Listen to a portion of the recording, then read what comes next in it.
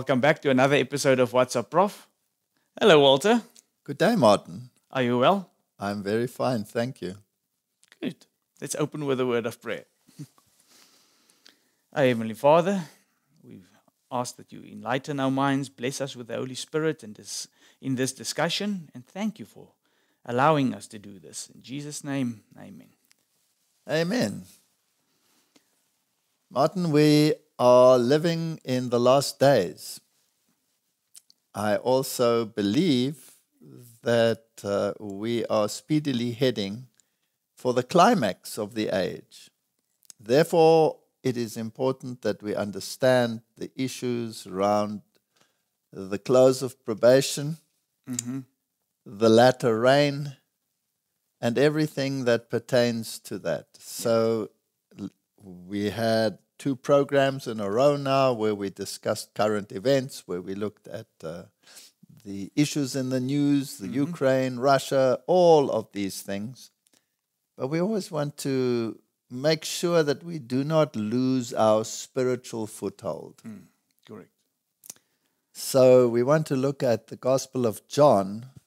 And uh, many years ago, not many years ago, about four years ago, five years ago, time flies, huh? Yeah. I gave a sermon that was titled For Your Ears Only. And uh, we want to look at what that actually pertains to with regards to the Gospel of John. But before we get there, let's just first talk about the significance of the disciples and the message that they bore. I don't know, Martin, whether everybody is aware of it, but originally the sequence mm. of the books in the New Testament wasn't the same as it is today. So if you take your Bible and you look at the New Testament, mm. you know, you have a particular sequence. You have the Gospels, and then you have the book of Acts. And uh, today you start then immediately with the writings of Paul. Yes. And then right at the end, you have uh, the books of James and Peter and uh, the epistles of John and Jude. Yes.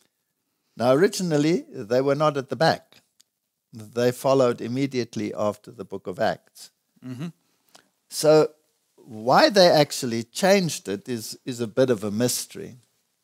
But the original sequence is actually quite significant. Not that it changes the content of the Word of God, but it changes the, let's, how shall I put this? It changes the thoughts and the deliberations. Because Paul is the theologian who brings out the typologies, mm-hmm. but the, the elders, James and John, they were the ones, and Peter, that were basically giving the directive for how things should be understood in the future. And they were right after Jesus ascended to heaven. Correct. So Paul came later, three and a half years later. Three and a half years later. Yes. So this was the message that was for the church. Yes. So, when we look at the original order of the New Testament books, when the New Testament was originally canonized by the apostles Peter, Paul, and John, and that is an important aspect as well, you know, because people think that some church put it together. Or yes. the Catholic Church gave us uh, the sequences and all of these things. Nothing could be further from the truth. Long before there was a Catholic Church. There was an apostle, Paul, Peter, and John. And they put together the canon of the New Testament. Then the general epistles were placed after the book of Acts and before the epistle of Romans. Now, the general epistles are the ones that refer to the writings of Peter and John and James and Jude. So the epistles, James, 1st and 2nd Peter, 1st, 2nd, and 3rd John, and Jude, thus immediately followed the book of Acts. Mm. And the Byzantine text still follows this order.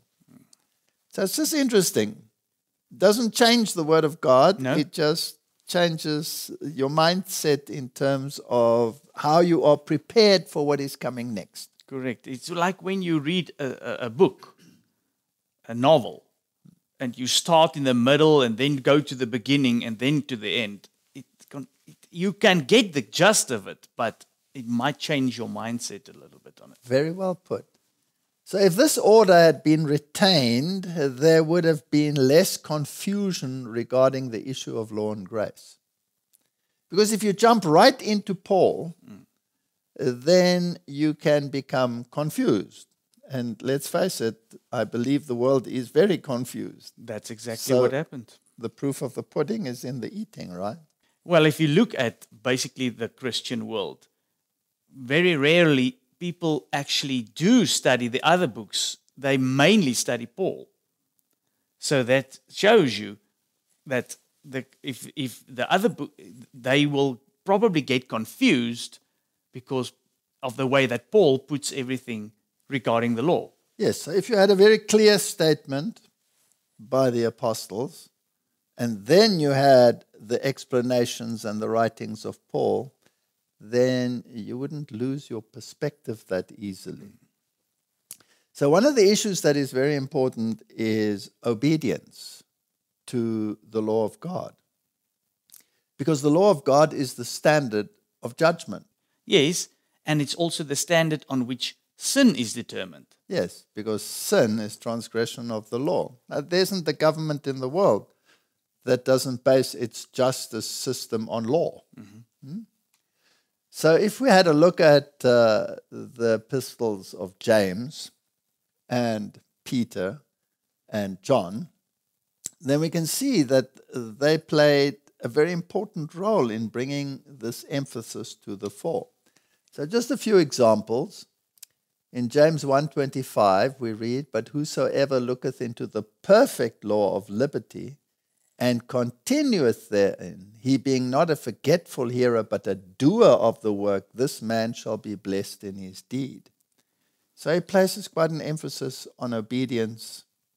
But also, if you put it like this, they were putting the law back into its rightful place because the, the leaders of the church at that stage totally distorted it. Yes. Uh, chapter 2, verse 9, he says, But if you have respect to persons, you commit sin and are convinced of the law as transgressors. Now, this is a very important statement here. In other words, what James is saying, don't listen to what the people are saying. Don't listen to what the Pharisees are saying, but listen to what the Word of God is saying. Don't be a respecter of persons. Preaching is important, but it's only of value if it is in harmony with the Word of God. That's it, yeah. Because people get so hooked up on people that when those people disappoint them, they throw the baby out with the bathwater and suddenly they don't believe anymore. No, your, your anchor must be the Word of God. Your anchor mustn't be a Martin Smith or a Walter Veith or a whoever out there in the world. The anchor is the Word of God.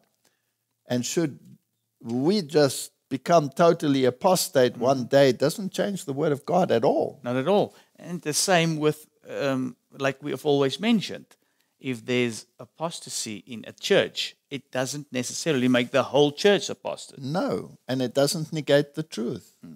So don't be a respecter of persons, but be convinced by the law.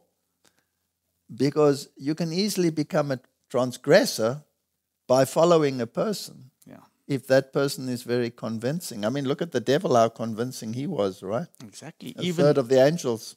uh, even this, if you follow the spirit, it can be totally wrong if you don't, if the spirit is not according to the law.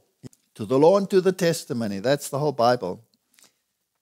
So, verse 10 says, For whosoever shall keep the whole law and yet offend in one point, he is guilty of all. For he that said, Do not commit adultery, said also, Do not kill. So, Martin, let's be very specific. What law is he referring to here? Ten Commandments. Ten Commandments, definitely. Now, if they commit no adultery, yet thou kill, thou'lt become a transgressor of the law. And I, I thought about that many times. If you covet, that's what the devil did in heaven. It started with the transgression of the 10th commandment. He coveted the position of Christ. Hmm? If you covet, that's breaking the 10th commandment. So if you want to be in that position, you actually want to place yourself there, then you're actually breaking the first commandment. You shall have no other gods beside me. Yep. All right? That's it. And that is a species of idolatry. That's breaking the second commandment. Mm. That is a blasphemy against God. That's breaking the third commandment. If you then start tampering with the authority of God yep. and questioning the authority of God, then you're breaking the fourth commandment. That's it. And God was his parent. He's breaking the fifth commandment. Eventually, you become so enraged that you're willing to actually kill your parent, which the devil actually did at the mm-hmm. cross. He killed Jesus Christ, hmm, yep. who was his creator. Therefore, he broke the sixth commandment. Yeah. Did he create spiritual adultery? Yes. Did he break, therefore, the seventh commandment? Mm-hmm. Was he a liar and a thief? From the beginning. So he broke the eighth and the ninth. You start with the tenth, you break them all. That's it. Okay.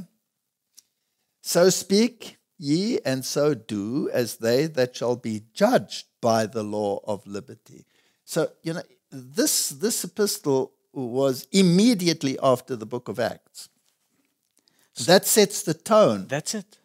And then if you read Paul, and it said it is by faith and not by works that you are saved, then it has to be read in the context of this. Exactly. That's why Martin Luther said anyone that can marry James and Paul in the sense of understanding how they get together will understand how grace works. Yes. So it's very important. And this sequence is therefore rather sad that it has been changed, yes. right? Uh, chapter 4, verse 11 Speak not evil one of another, brethren. He that speaketh evil of his brother and judges his brother speaketh evil of the law and judgest the law. But if thou judge the law, thou art not a doer of the law, but a judge. That's also a very interesting verse. So, you know, you can become such a stickler in the law, like the Pharisees did, that you set yourself up as judge. Mm. You start looking at your brothers and your sisters and you start saying, hmm, they're lawbreakers.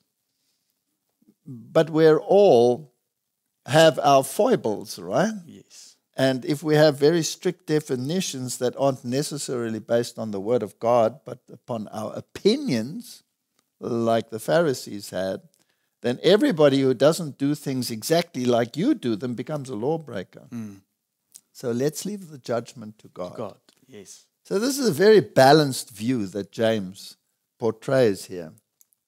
If we go to Peter, that was also there in the beginning. Mm-hmm. It says in 1 Peter chapter 4 verse 17, "For the time is come that judgment must begin at the house of God. And if it first begin at us, what shall the end be of them that obey not the gospel of God?" So obedience was it important to Peter? Oh, definitely. And he said, "Start with me." And then he has this very interesting verse that most people would rather not have in the Bible. and if the righteous scarcely be saved, where shall the ungodly and the sinner appear? In other words, tread lightly. Yeah. Don't be presumptuous Ooh. and think, oh, I'm standing on holy ground. I'm fine. Mm, that word presumption.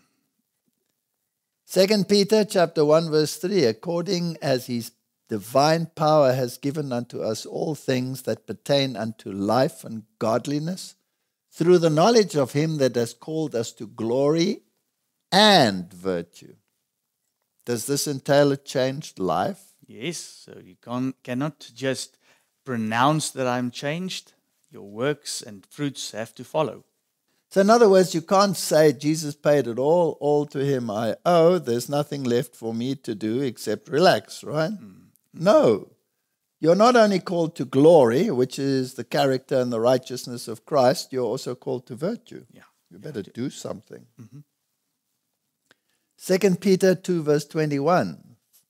For it had been better for them not to have known the way of righteousness than after they had known it to turn from the holy commandment delivered unto them. That's pretty straightforward. You cannot twist that one. No. So, in other words, it would have been better not to have known the righteousness than to turn your back upon what has been delivered in terms of obedience and all of those issues and virtue. But the Bible is interesting because can you not now say it's better not to evangelize because if they never knew they were they would have been saved? yes, but if they never knew, they were probably or most likely in a very high probability lost. But there's also a verse in the Bible that says, if you don't tell them, their blood be on you. That's very interesting. You know, uh, there's also a statement in the Spirit of Prophecy which says, almost, but not wholly saved, is to be not almost, but totally lost. Yeah. That's pretty well put. Eh? Then let's go to John. Well, let's first look at the Gospel of John. This is Jesus speaking. He that has my commandments and keepeth them, he it is that loveth me. And he that loveth me shall be loved of my Father, and I will love him, and I will manifest myself to him. That's a promise. Yeah. So if you want Jesus to manifest himself, make known his principles, well, then you better keep the commandments, right? And it's also important to remember here he is the one that empowers you to keep his own commandments, and then he can manifest himself. Yes. Now let's listen to the words of John himself in First John. He that says, I know him, and keepeth not his commandments, is a liar, and the truth is not in him. Now, Martin, if you had read the Bible in this, in this original sequence and you come across these things, would you then be confused when Paul says you're not saved by the law, but you are saved by grace? No, because now you'll know, okay, this is how important the law is. So when Paul says that, he's mean, making it or telling you, don't let you uh, this become a human activity about keeping the law it must be a godly manifested activity. All right, let's go to the book of Jude, which was the next one. Beloved, when I gave all diligence to write unto you of the common salvation, it was needful for me to write unto you and exhort you that you should earnestly contend for the faith which was once delivered unto the saints.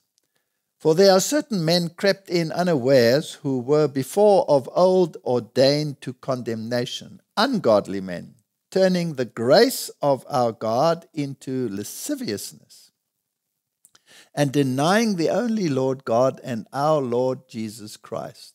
So, can you change the grace of God into something that is condemnable? Unfortunately, people do. They do change into condemnation. Yes. So these are the ones that followed immediately after the gospel. And they're pretty plain. Now, let's go to the Gospel of John because I find the Gospel of John so fascinating.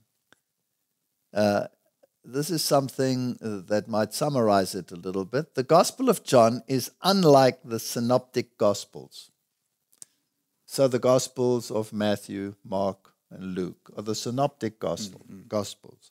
And they are basically eyewitness accounts and a bit of history that tell you exactly what transpired. And many of the teachings and the way in which Jesus worked are supported by three witnesses.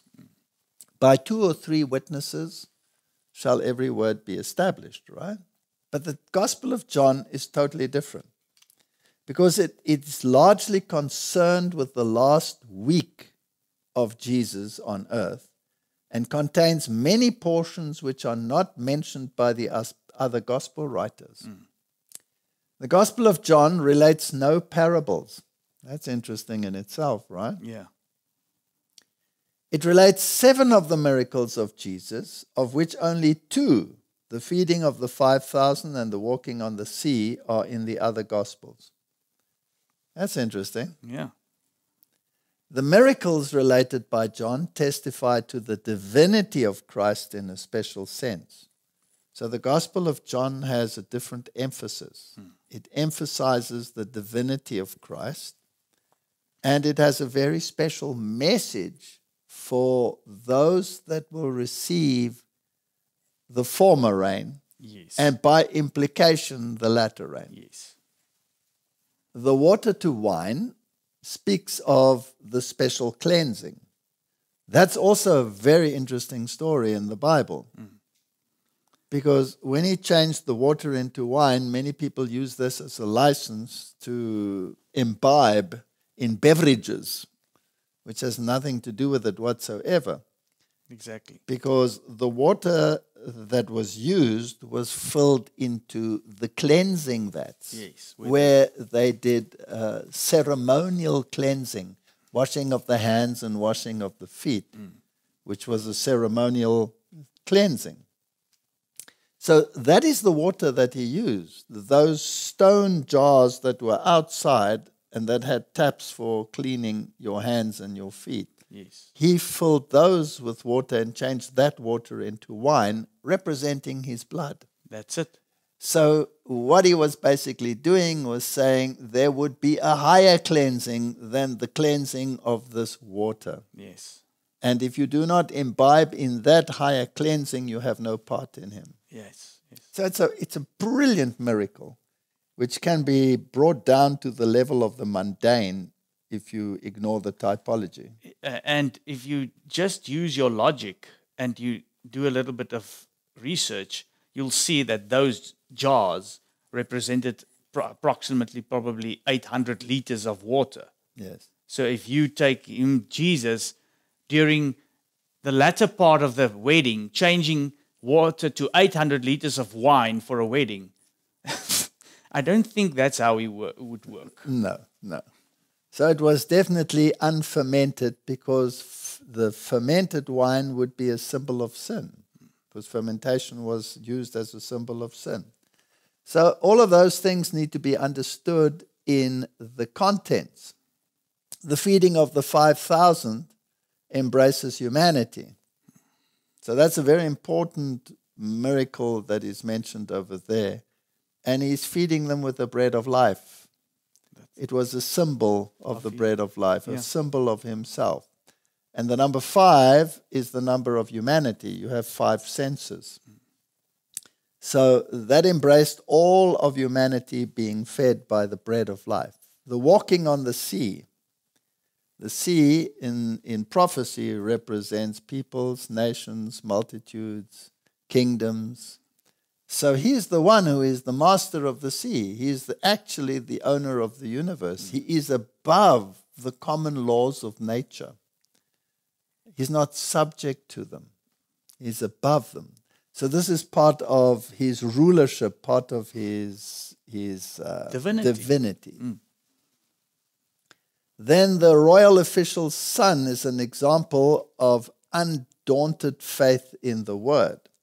So here's a royal official who believed and said, It's not necessary for you to even come to my house. Just say the word, and my son will be healed. And uh, this, is, this is undaunted faith. And this is the kind of faith that he required of his people.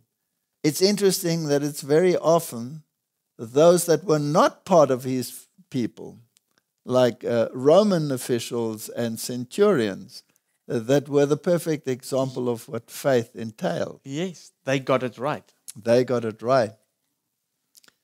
Then the lame man at Bethesda and the stirring of the water addresses the superstitions of the professed believers. We can look into those sort of issues as well. The healing of the blind man is a witness to the church leaders, and then the raising of Lazarus crowns them all. Yeah. So this is basically what uh, the emphasis of John is to show the divinity. But there are other things in John that we need to uh, look at very carefully. The question is why no parables?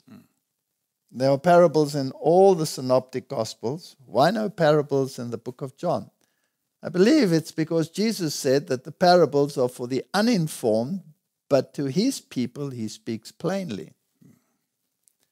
The parables are a brilliant way of teaching without being so direct as to cause major consternation. You say something in a parable, then you get the message in obliquely. Yes. And also, it is sometimes for some people more better explained through a parable. They probably wouldn't understand it. It's like an object lesson. That exactly.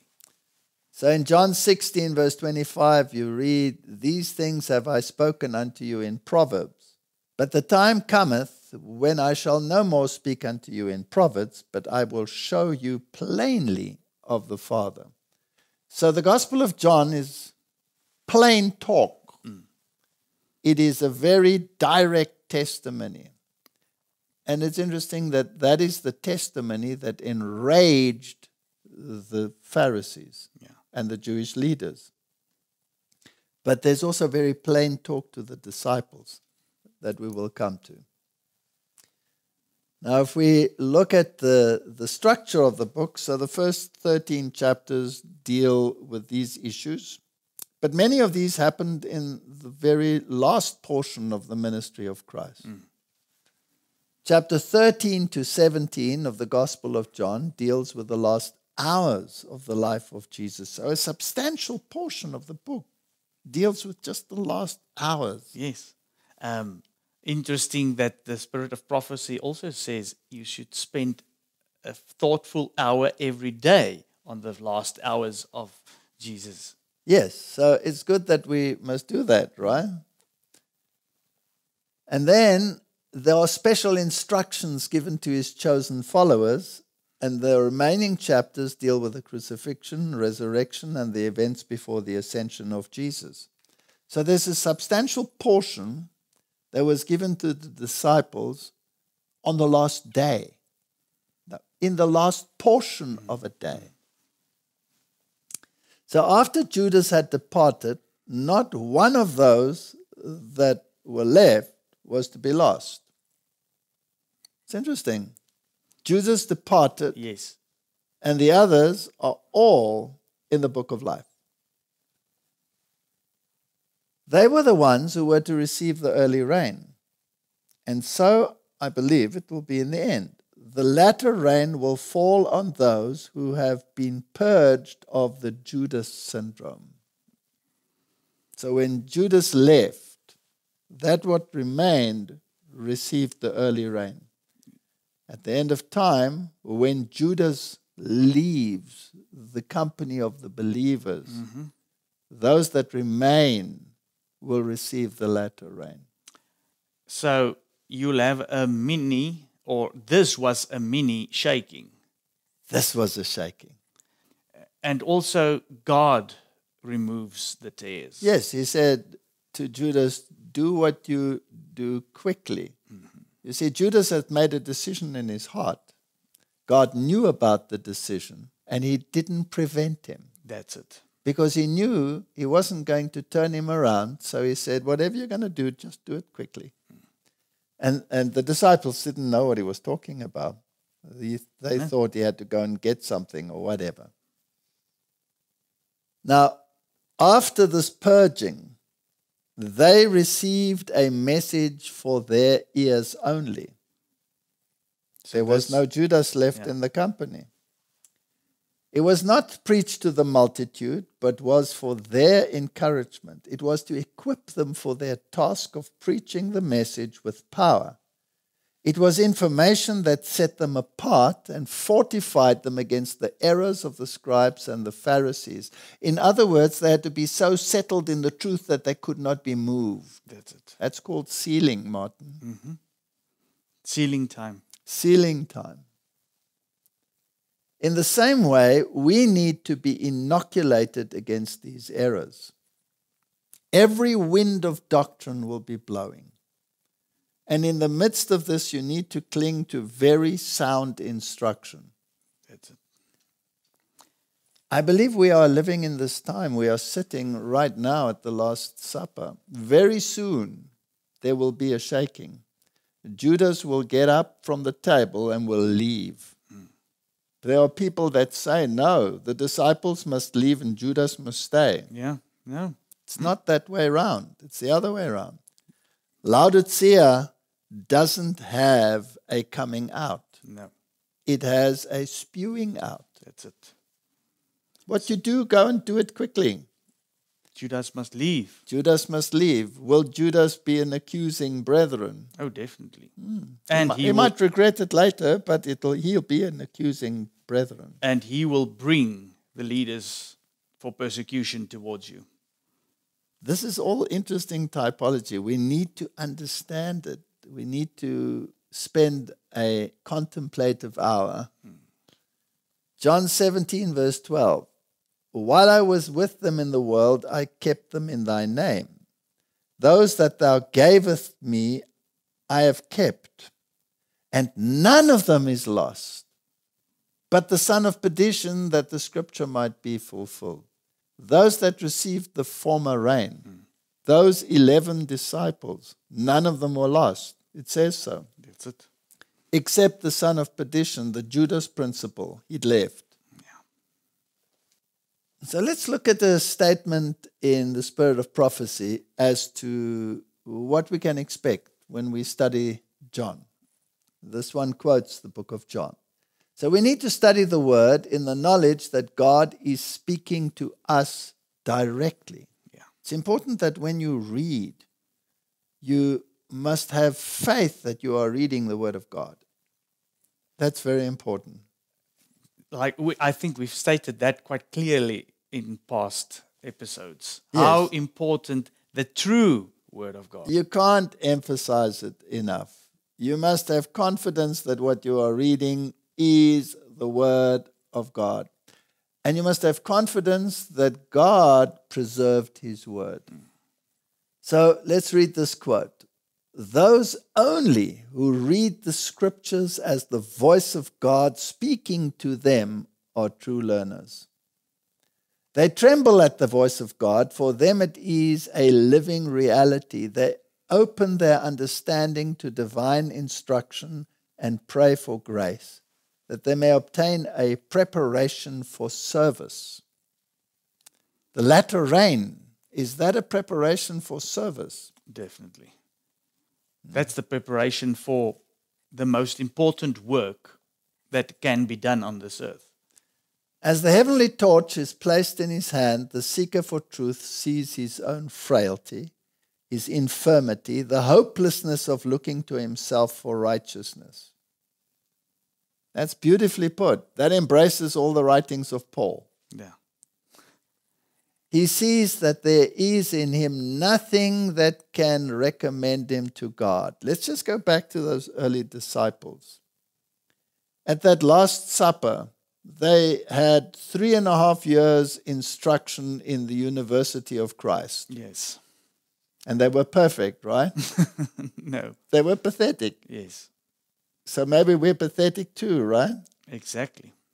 They were arguing on the way to the Last Supper as to who was the greatest. Yes, they were argue, arguing about who will sit on his left and right side.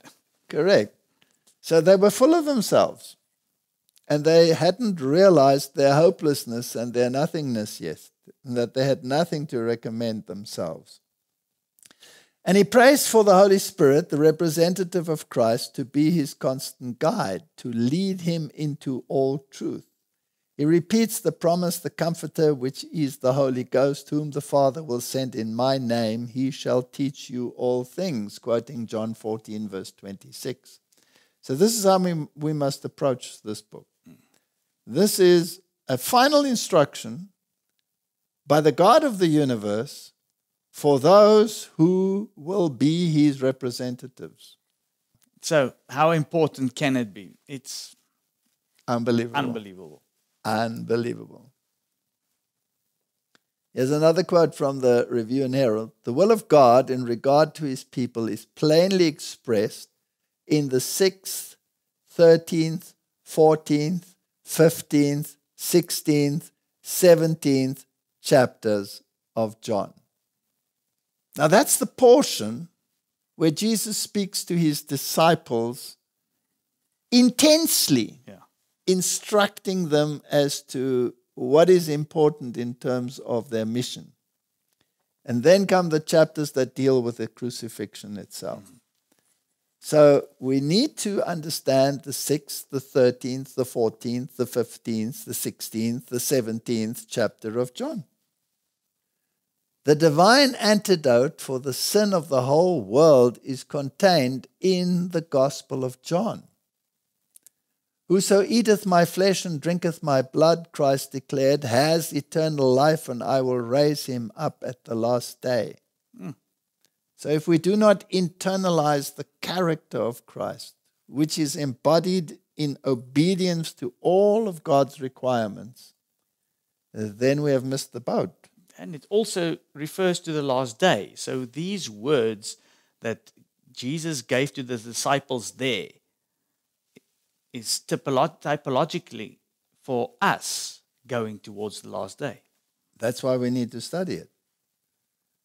He may die as Christ died, but the life of the Savior is in him. His life is hid with Christ in God.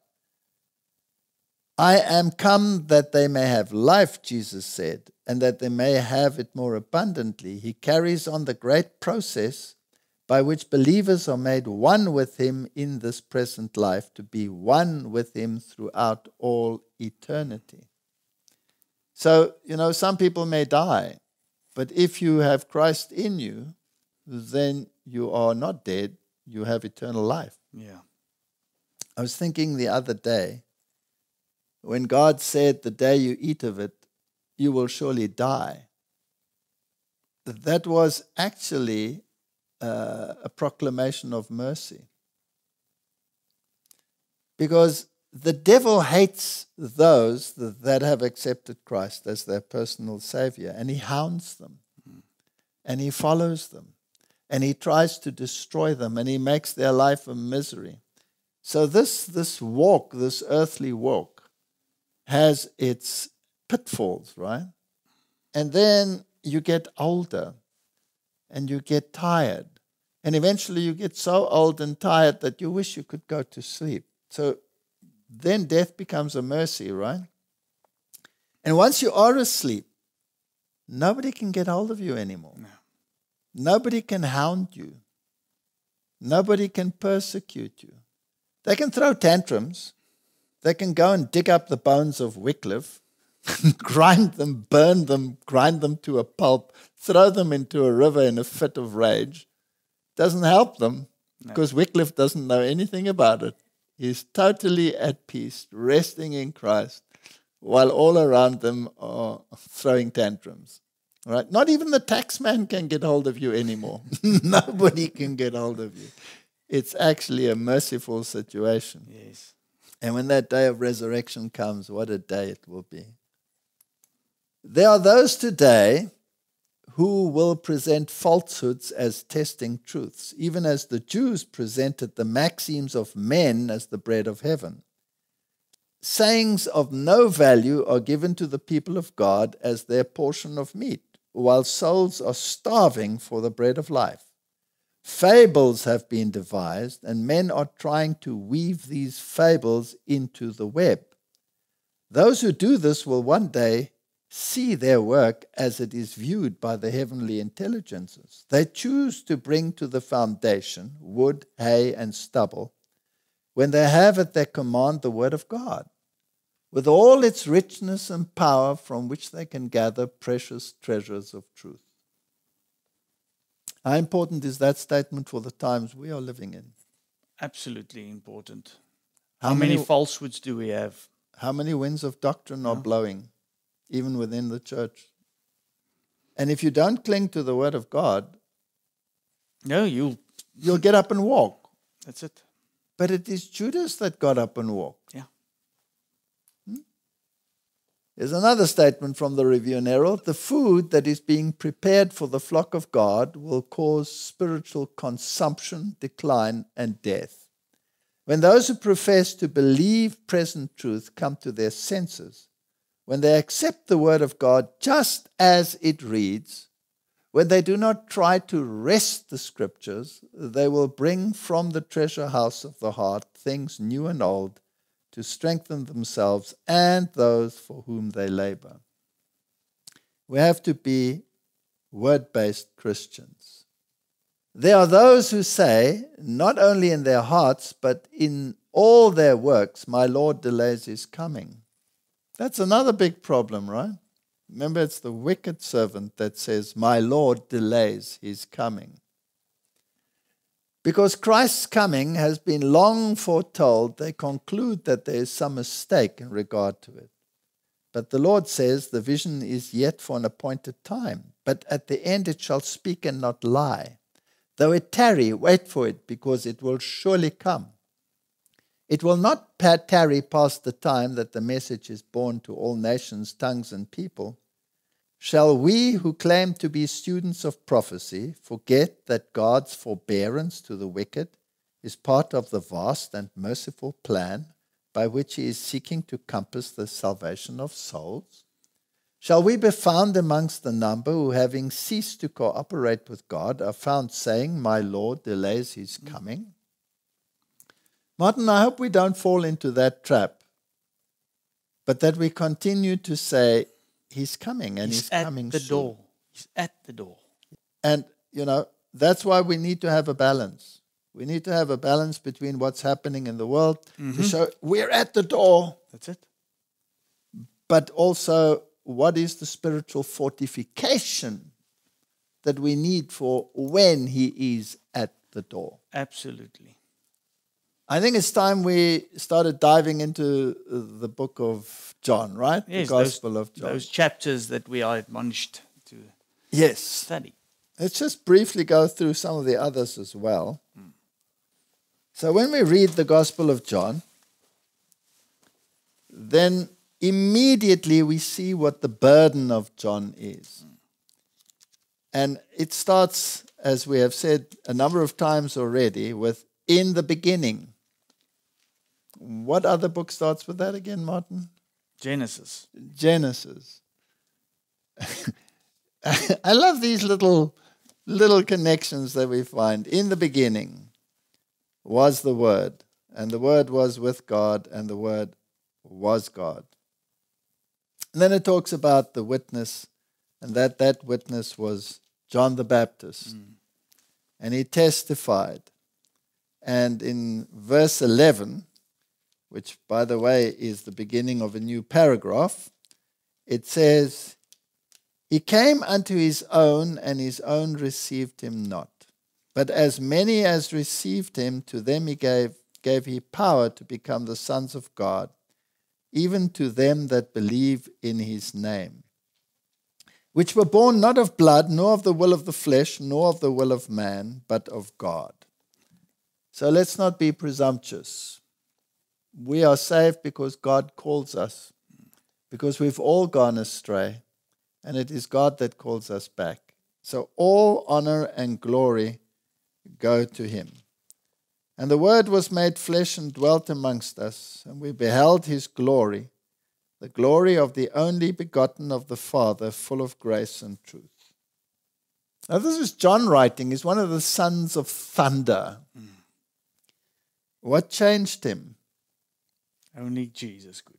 Okay, he beheld his glory. Yeah. Uh, that- The divinity of Jesus. He saw that he was God. he saw that he was God, but what what did he see? Did he see a glorious being shining with light? Yes, he saw it once at the transfiguration. He saw this glorious shining being. But what did he perceive before he saw the glorious shining being and before his character was changed? What did he perceive? He saw a man that came from poverty. He saw an unpretentious person. He saw a kind person.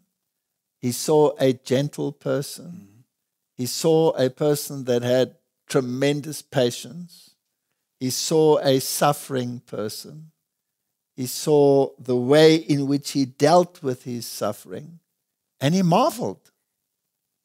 And he thought to himself after a while, I wish I could be like that. I'm a son of thunder, mm. and I wish I could be like that. So what he what he saw was the character of Christ. That's it. And he saw also the meekness. Because if you're a son of thunder, meekness is not your uh, not a very big virtue. You've always flame up and you've got a short fuse. I I can relate to that. Where the way did you I have a, did you have a short fuse, Martin? yeah, just as short as I am. so, what, did the Lord give you a wife to sort out your short fuse? Yes, he gave me a lightning conductor. Your poor wife. and then it says, John bare witness of him and cried, saying, This was he of whom I spake. He that cometh after me is preferred before me, for he was before me. So who was older, John or Jesus? John. He was older by six months. Yes, he was older, but he says Jesus was before him. So he must have recognized something, right? Mm-hmm. Yes. And of his fullness have all we received, and grace for grace. For the law was given by Moses but grace and truth came by Jesus Christ. So basically, what he's saying is the law, the books of Moses, mm. the Pentateuch, foreshadowed Jesus yeah. and what he would do for us, but the reality, the substance was manifested in Christ. Yeah. Beautiful, right? Mm-hmm. So basically, chapter 1 deals with who Christ is, that he is God. And then if we drop down to verse 35, it says, Again the next day, after John stood, and two of his disciples, and looked upon Jesus as he walked, he said, Behold the Lamb of God. And the two disciples heard him speak, and they followed Jesus. Then Jesus turned and saw them following, and said unto them, What seek ye? They said unto him, Rabbi, which is to say, being interpreted, Master, where dwellest thou? And he said unto them, Come and see. They came and saw where he dwelt, and abode with him that day, for it was about the tenth hour. And one of the two which heard John speak and followed him was Andrew, Simon Peter's brother. And he findeth his own brother Simon. And so it continued. This one found that one, and that one found that mm. one. And the two of them eventually found this one, and someone found Nathaniel. And so one after the other, they came through the witness of what some saw, through what John saw, they came to Christ, right? And all Jesus says, come and see. So he's not telling them anything. No, come and come and see for yourself. Come see for yourself. See what it's all about. So that's the burden of chapter one. We want to get to the instructions that are important for our time. So we're not going to do a verse by verse exposition of the book of John. Then in chapter 2, you have the cleansing the turning of the water into wine. Now, we've talked about that already, so that's a very important uh, message that the real cleansing comes through the blood of the Lamb. Chapter 3 deals with Nicodemus and that you have to be born again. You have to get a spiritual insight. And this discussion is, is, is fascinating it deals with so many aspects. It deals with uh, who Jesus is. So if we just look at verse 7, it says, Marvel not that I said unto thee, Ye must be born again.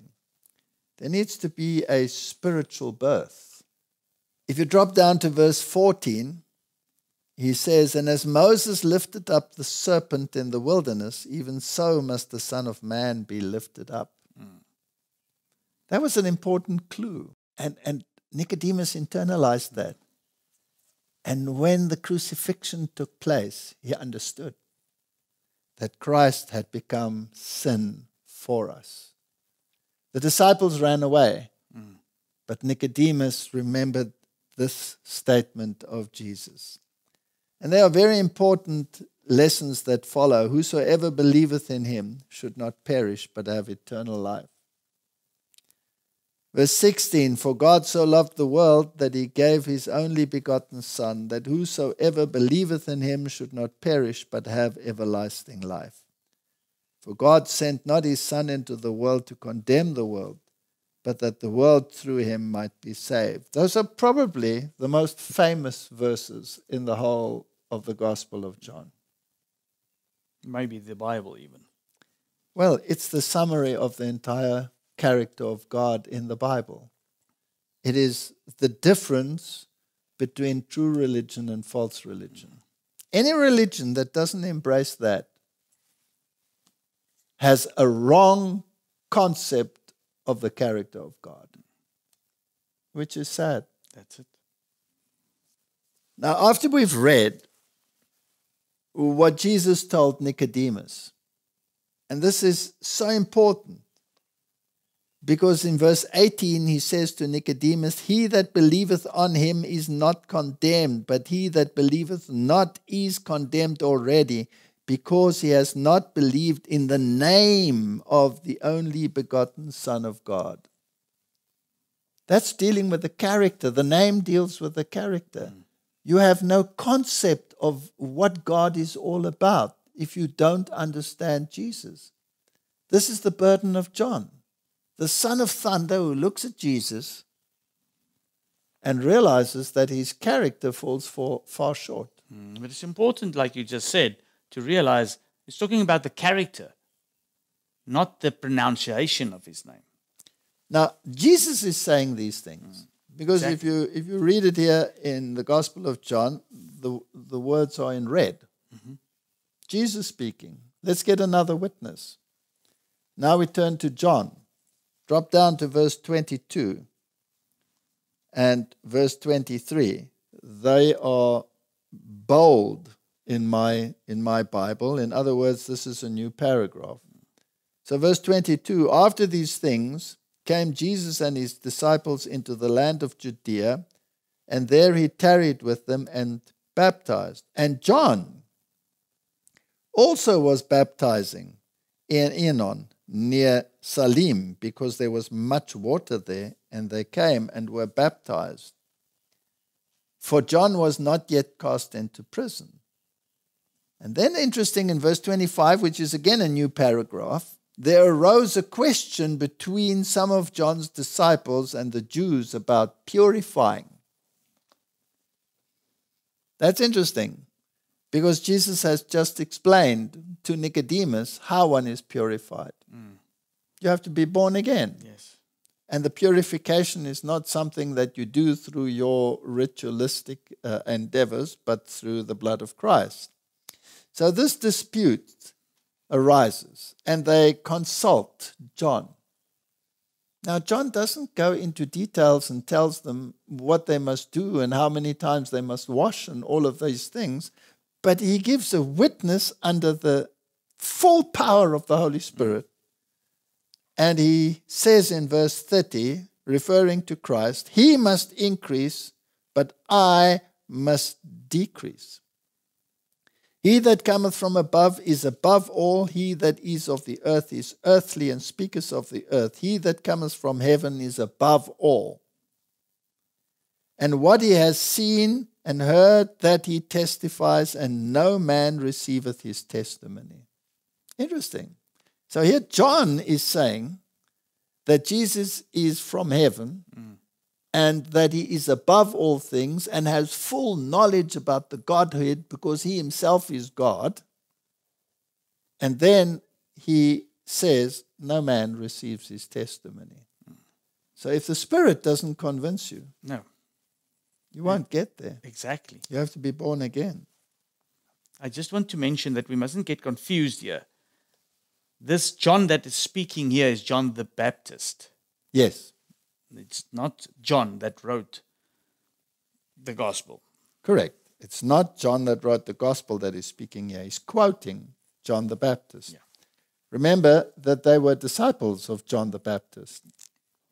And here John is saying an interesting thing. If we read from verse 34, it says, For he, for he whom God has sent speaketh the words of God.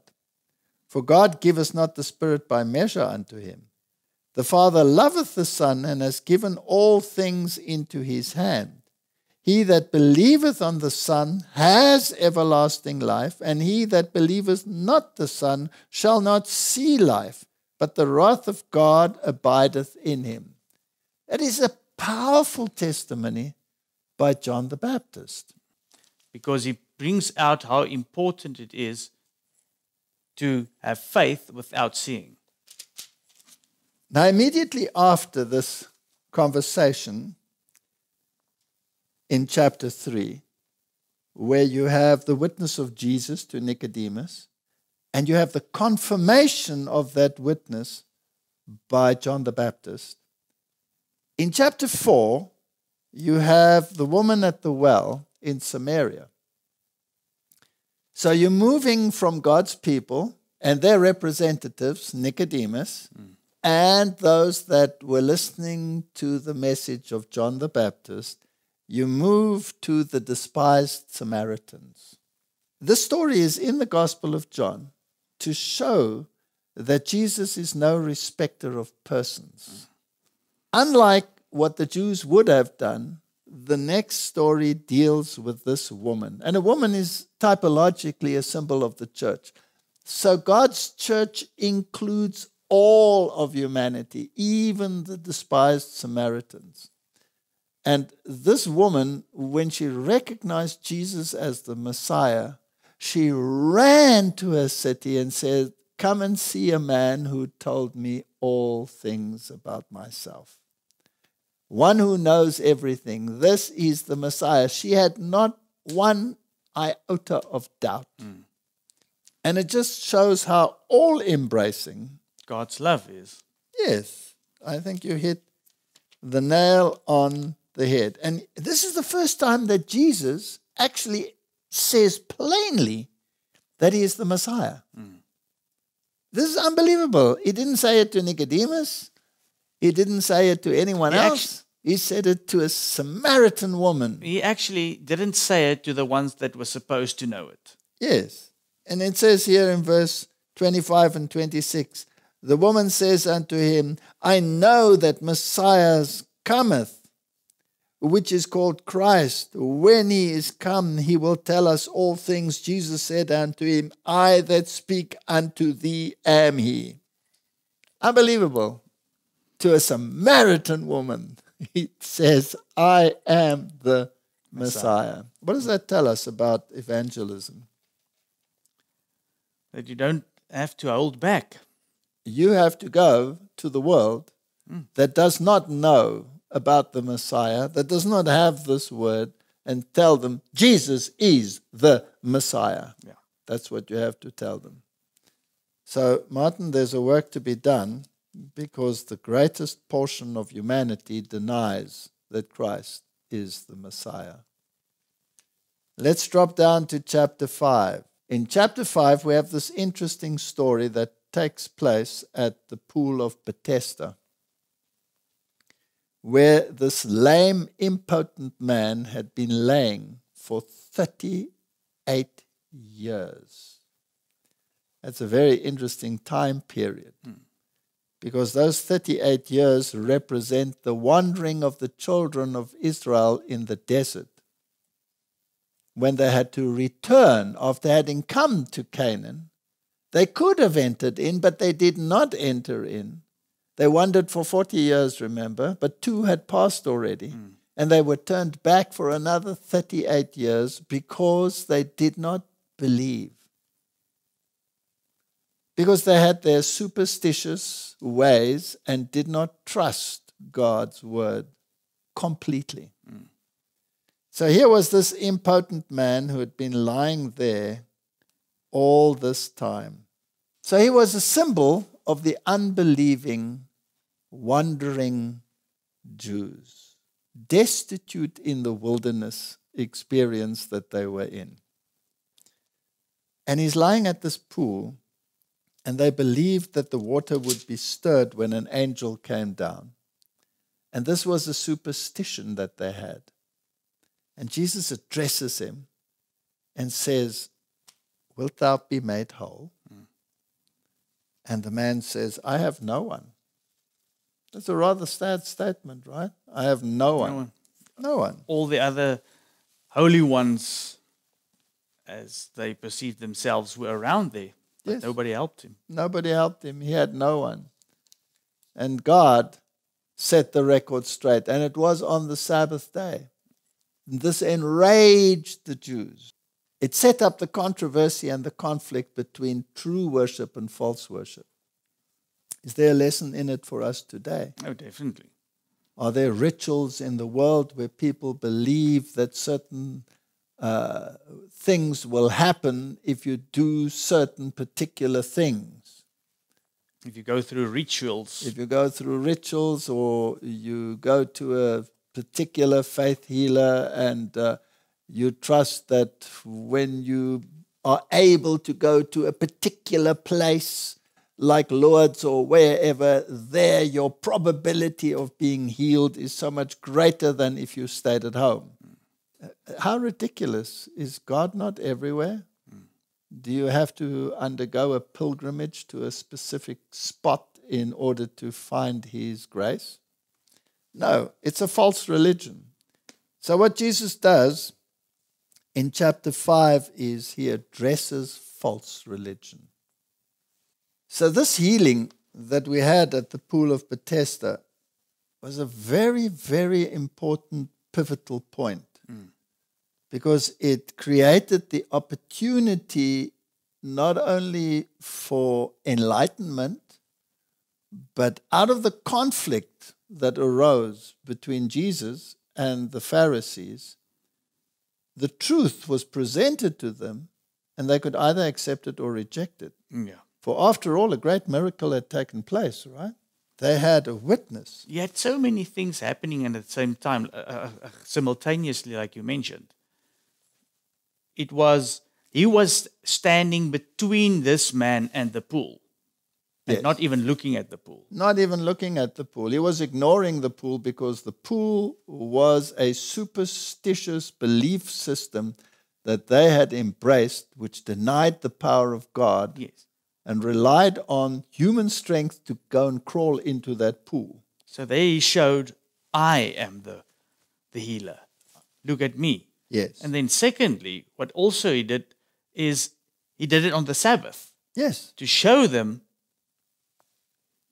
he's the healer and Lord of the Sabbath. Correct. That's why it says in verse 17 And therefore did the Jews persecute Jesus and sought to slay him because he had done these things on the Sabbath day. And then he enraged them because he said, But Jesus answered them, My Father worketh hitherto, and I work. Therefore the Jews sought the more to kill him, because he not only had broken the Sabbath, but said also that God was his Father, making himself equal with God. They fully understood what he said. Yes. That he was God. And can you now say that he broke the law? He broke the Sabbath law. How can he break the law if he's Lord of the Sabbath?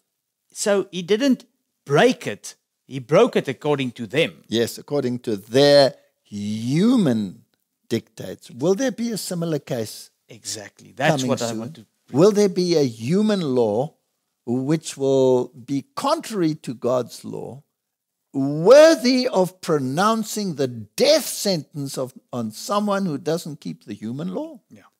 We're heading for the same situation, Martin. And then Jesus answered, and he said the following Verily, verily, I say unto you, the Son can do nothing of himself but what he sees the Father do. For what things soever he doeth, these also doeth the Son likewise. They have the same power. They have the same authority. Yeah. They have the same mindset. And then he continues For the Father loveth the Son and showeth him all things that himself doeth, and he will show him greater works than these, that ye may marvel. Now he's talking about the works. They just witnessed a tremendous miracle. For as the Father raises up the dead and quickeneth them, even so the Son quickeneth whom he will. For the Father judges no man, but has committed all judgment unto the Son that all men should honor the Son, even as they honor the Father. He that honoreth not the Son honoreth not the Father which has sent him. You can only come to the Father through Christ. And in Christ is the only means whereby you can understand the Father. If you see the Son, you've seen the Father. He continues and says, Verily, verily, I say unto you, he that heareth my word and believeth on him that sent me has everlasting life and shall not come into condemnation, but is passed from death unto life. Here's a theological sermon on salvation. That's it. And who is he giving it to? To the leaders. To the leaders. Yes. So this confrontation was brought about to bring a theological reality and a discourse to the Jews, to the leaders. How would they react? Mm, furious. Furious. And then he then he confirms that he's the resurrection and the life. Verily, verily, I say unto you, the hour is coming, and now is when the dead shall hear the voice of the Son of God, and they that hear shall live. For as the Father has life in himself, so he has given to the Son to have life within himself and has given him authority to execute judgment also because he is the Son of Man. The Son of Man is a title that you find in the book of Daniel. I saw one like the Son of Man come to the Ancient of Days. This is a judgment scene that takes place in heaven. Mm. So these two titles, Son of God, Son of Man, are unique to Christ. That's it. Marvel not at this, for the hour is coming in which all that are in the graves shall hear his voice and shall come forth, they that have done good unto the resurrection of life, and they that have done evil unto the resurrection of damnation. So he's giving them a theological lesson, and he's f- infuriating the Sadducees who don't believe in the resurrection. That's true. He's got everybody covered there. All right. So, do we have similar religions today? Mm-hmm. They might believe, they might not believe in a resurrection, but they believe in a reincarnation. Here is theology at its best. It tells us what the position of the Son is. It tells us all judgment is given unto him. It tells us that the power of the resurrection is in his word that he will raise them up on the last day, that there are two resurrections. In this place, it doesn't tell us that they're separated by a thousand years, but later in the book of uh, Revelation, we get to understand that also. Now, if we read verse 31, Martin, it says, If I bear witness of myself, my witness is not true. Mm. Because you need more than one witness, right? Mm-hmm. Now, this is very important. There's another that beareth witness of me, and I know that the witness which he witnesseth of me is true.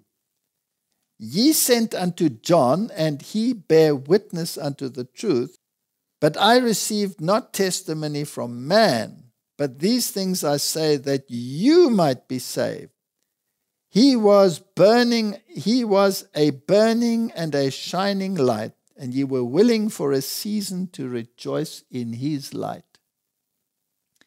So he just performed a mighty miracle. He's bearing witness of himself to them, and he's saying, All right, you don't want to accept my testimony that I am the way, the truth, and the life. I am the one that has the power of resurrection at my disposal because I and the Father are one. We are God. They just recognized that he'd said that. Now he brings in the witness of John. And uh, he says, John testified of these things, and we read it just now. This in the previous where. John testified of these things. And then he says in verse 36 But I have greater witness than that of John. For the works which the Father has given me to finish, the same works that I do bear witness of me, and the Father has sent me. So there's another witness. And the Father himself, which has sent me, has borne witness of me. Ye have neither heard his voice at any time nor seen his shape, and ye and ye have not his word abiding in you, for whom he has sent, him ye believe not. So Martin he's saying that there are a number of witnesses that testify to the fact that he is who he claims to be. Hmm. One, he talks about himself. He says, All right, you say that witness is not true because I'm testifying of myself. But what about John? yes. You were happy to abide in his light. He testified of exactly the same thing. But you won't believe him now Yes. because you don't want to believe me. Behold, the Yes. Lamb of God. Then he says, What about the works? Mm. The works testify that I am who I claim to be. Have you ever seen a man, lame, get up and walk just by my word? On the Sabbath day that you are contesting and saying, I'm a lawbreaker because of that, whereas I am showing you, I am Lord of the Sabbath, I am your creator, and you keep the Sabbath because I said that I created the earth, the heavens, and everything in them in six days. Hmm? But you won't acknowledge me as the creator God if I give life to someone who is dead for 38 years, in a sense. And then the Father, he says, testified. Well, where did the Father testify? At the baptism. At the baptism. This is my beloved Son in whom I am well pleased. And the people heard him. So there was a witness from heaven, there was a witness on earth, John the Baptist, the works testify. And then he says in verse 39 Search the scriptures, for in them ye think ye have eternal life, and they are they which testify of me. So there are four witnesses. Yeah. John testified, the works testified, the Father testified, and the scriptures testified. There's no doubt about this issue. So now, Martin, that we have laid the groundwork for the message that is to come to God's people to prepare them for the latter rain, which is ensconced in the message to the disciples who were to receive the former rain. I think we should uh, take a break and do this in another episode. We'll continue later. Thank you. Let's do that. Will you pray for us? Yes. Heavenly Father, the riches and the beauty of the Gospel of John that has these four great witnesses that testify to the truth and doesn't even include the witness of the disciples at this stage sets the stage for what is coming. May we internalize these words, make them our own, believe them with all our heart and with all our mind, because the testimony is true based on the witnesses. And may we be ready when the time comes, when that final conflict takes place. This is my prayer in Jesus' name. Amen. Amen.